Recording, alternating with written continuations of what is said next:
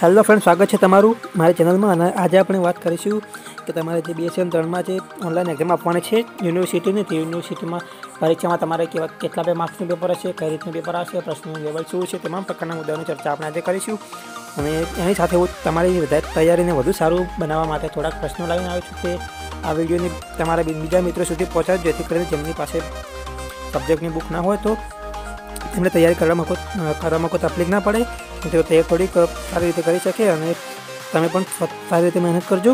આ પ્રશ્નની આ એક્ઝામ પેપરની વાત કરીએ તો તમારે સિત્તેર માર્ક્સનું પેપર હશે, તો પાંત્રીસ પ્રશ્નો હશે અને પાંત્રીસ માર્ક્સનું પેપર હશે, તો સત્તર પ્રશ્નો હશે. તો તમારે આ આમાં એક માર્ક્સનું બે પ્રશ્નો હશે, તો તે તમારે સાવચેતીપૂર્વક પેપર આપવાનું છે. તમારે સાવચેતીપૂર્વક પેપર આપવાનું છે, કારણ કે જો તમારો એક પ્રશ્ન ખોટો પડે, તમારા બે માર્ક્સ પહેલાં જશે અને એક પ્રશ્ન સાચો પડે, તો મને બે મળે બે માર્ક્સ મળી જશે તો તમારે આ વિડીયોને જરા પણ સ્કીપ કર્યા વગર જે પ્રશ્નો છે તે પ્રશ્નો ધ્યાનથી જોજો અને તમને જવાબ તમારે કોમેન્ટ બોક્સમાં આપવાની વિનંતી.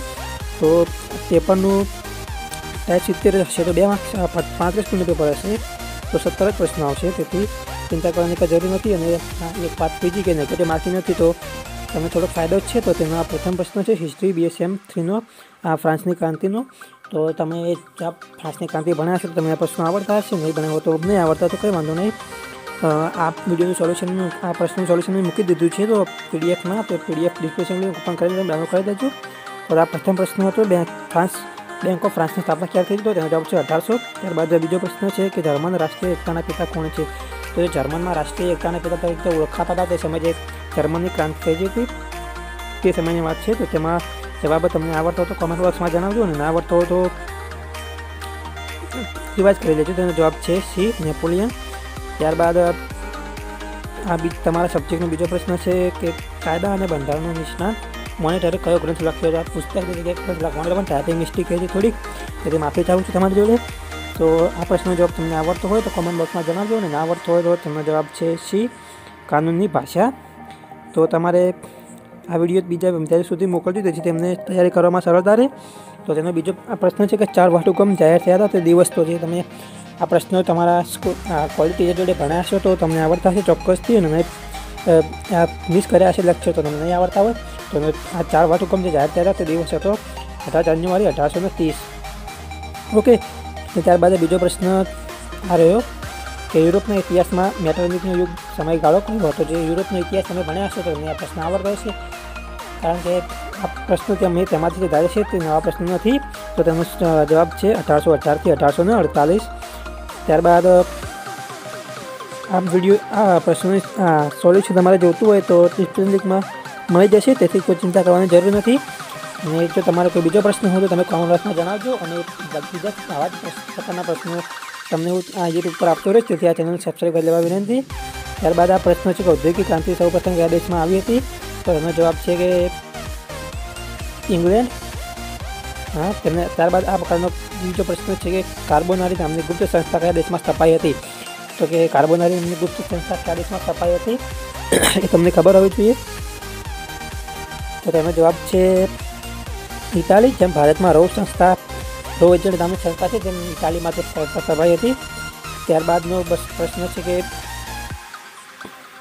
જેટલા સિક્સટી સેવન જેટલા ટકા જકાત નાતા નાકા કયા રાજ્યમાં હતા એટલે કે સડસઠ જેટલા જકાત નાકા કયા રાજ્યમાં હતા તો તમે આ પ્રશ્ન ભણ્યા હશે તો તમને ખબર હશે આનો જવાબ રશિયા આવશે પ્લીઝ કોઈ રશિયા કરીને ના આપતા ને કે તમારા બે માર્ક્સ ચાલા જશે તો તમને નુકસાન જ થશે તો રશિયા યાદ રાખજો રશિયા ના રાખતા ત્યારબાદનો પ્રશ્ન છે કે વિદ્યુત યંત્રની શોધ કોણે કરી હતી તો વિદ્યુત યંત્રની શોધ કહે છે વિદ્યુતની શોધ નથી કહેતી તો તેઓ વિચારીને જવાબ પિક કરજો થોમસ અલ્વા એડિશન નહીં આવે કારણ કે તેમણે વિદ્યુતની શોધ કરી હતી આ વિદ્યુત યંત્રની શોધ છે તો વિદ્યુત યંત્રની શોધ આવશે ફેરેડ માઇકલ ફેરેડ ઓકે એમ કે યાદ રાખજો માઇકલ ફેરેડ એમ એફ ત્યારબાદનો બીજો પ્રશ્ન છે કે વોટર ફેન વોટર ફેમ યંગના શોધક કોણ હતા જે વોટર ફેમ યંગ તે આ પ્રશ્ન તમે ભણ્યા છો તમને આવડતા છે નવા પ્રશ્ન નથી એ ચોંકવાની જરૂર નથી તમારા અભ્યાસક્રમમાંથી જ મેં પ્રશ્નો લીધા છે તેનો જવાબ જવાબ છે એ એક right R K right sorry okay ત્યારબાદ ટાઈપિંગ મિસ્ટેક થોડીક ઓકે ત્યારબાદ બીજો પ્રશ્ન છે કે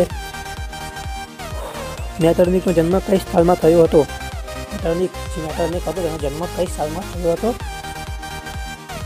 તો એ સાલ તમને યાદ હોવી જોઈએ કે કઈ સાલમાં થયો હતો અઢારસો સત્તાવન અઢારસો તોતેર અઢારસો તોતેર અઢારસો છપ્પન તો એનો જવાબ છે બી અઢારસો ને તોતેર ઓકે અઢારસો ને તોતેર તો અઢારસો છોતેરના કરતાં તોતેર કરજો ત્રણ ત્રણ સાલનો ડિફરન્સ છે.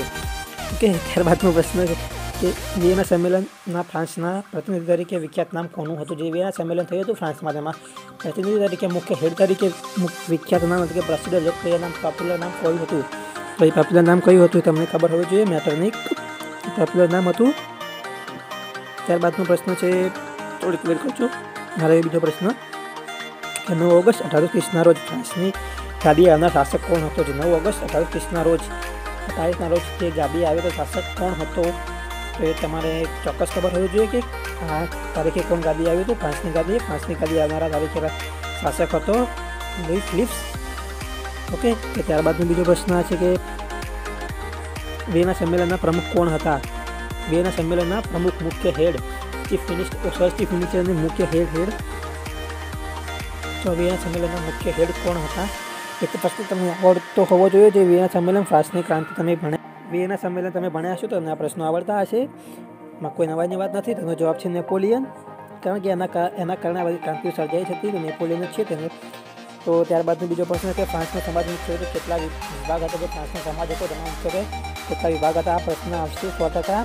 પ્રશ્ન મિસ ના કરતા. આમાં ત્રણ વિભાગ હતા. એક હતો મજૂર વર્ગ, સામંત વર્ગ અને ત્રણ વિભાગ હતા સામંતશાહી મજૂરશાહી અને એક બીજો હતો સોરી મને આવડતું હતું નેક્સ્ટ મિનિટ જણાવી દઈશ ત્યારબાદનો વોટરલીના મેદાનમાં પરાજિત થયેલ શાસક જે બેઠક બેઠક ચલાવ્યું હતું વોટરલીના મેદાનમાં તે મેદાનમાં પરાજિત થયેલો શાસક પૂછ્યો છે કયા કયા રાજાઓ તે પહેલાં યાદ યાદ રાખવાની જરૂર નથી કારણ કે એ પ્રશ્ન નહીં આવે તો તેનો જવાબ છે નેપોલિયન જે હાર એને હાર મળી નેપોલિયન હતી ને તે લડાઈમાં ત્યારબાદનો પ્રશ્ન છે કે પાંચમી ક્રાંતિએ શાની જાહેરાત કરી હતી કે પાંચમી ક્રાંતિ થઈ ત્યારબાદ પૂરી નથી પૂરી થઈ તેના પછી તેને કઈ જાહેરાત કરી હતી કે માનવ હકોની રાજકીય હકો અને બંધારણીય હકોને સામાજિક હકોની એટલે એનો જવાબ છે માનવ હકોની જાહેરાત કરવી રાજકીય અને એનો પ્રશ્ન બીજો બની શકે પાંચમી આ કે માનવ હકો લાવનાર ક્રાંતિ કહે છે કે પાંચમી ક્રાંતિ બે પ્રશ્નો આમાંથી બની શકે છે ત્યારબાદ પંદર ઓગસ્ટ સત્તરસો ઓગણસિત્તેરના જન્મ રાજવી કોણ હતો કે પંદરમી ઓગસ્ટ સત્તરસો ઓગણસિત્તેરના કયા રાજ્યનો જન્મ થયો હતો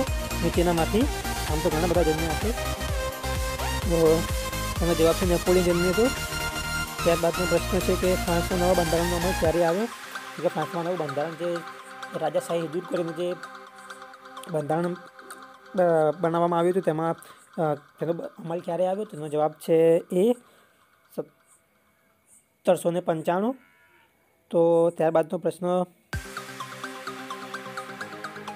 છે કે બે બાર અઢારસો ચારના રોજ રાજ્યાભિષેક થયો હતો તે શાસકનું નામ જણાવો છે કે બે બાર અઢારસો ચારના રોજ જે રાજ્યનો રાજ્યાભિષેક થયો હતો તે રાજાનું નામ જણાવો તેનું નામ છે કયું નામ છે મોસ્ટ ઓફલી નેપોલિયન જ છે કારણ કે નેપોલિયન મુખ્ય હેડ હતો એટલે તો મળીએ તો મિત્રો આ થોડાક તમારી બે સેમ ત્રણના હિસ્ટ્રીના થોડાક આ બે પ્રશ્નો આવા જ પ્રશ્નો સાથે હું ફરી મળીશું તમને ત્યાં સુધી રજા લઉં છું અને હા યાદ રાખજો તમારે સિત્તેર માર્ક્સનું પેપર હશે તો પાંચસો પ્રશ્નો હશે અને પાંચસો પાંચનું પેપર હશે તો સત્તર પ્રશ્નો હશે એક પ્રશ્નના બે ગુણ હશે જે પણ વિદ્યાર્થી જોડે બુક ના હોય તો આ ડિસ્ક્રિપ્શનમાં મેં લિંક આપી લીધી છે પીડીએફની તો પીડીએફ ડાઉનલોડ કરી દેજો અને બીજું પછી જે વિદ્યાર્થીઓ પાસે મોકલી છે તેમને તૈયાર કરવામાં સરળતા રહે અને તે તેમની તૈયારી સરળ રીતે કરી શકે અને વધારેમાં વધારે માર્ક્સ લાવી શકે ત્યાં આવજો મળીએ નેક્સ્ટ વિડીયોમાં